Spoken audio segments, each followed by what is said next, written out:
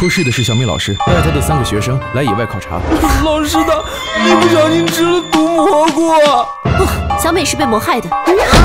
这种常见毒菌叫毒乙伞。作为考察导师，小美不可能不知道。事发的时候，你们都在干什么？我吃完晚饭我就出去散步了，出事的时候才回来。你能证明自己没有中途回来吗？是，那一敏跟老师待的最久，他最有嫌疑。可我后来就去捡柴火了呀。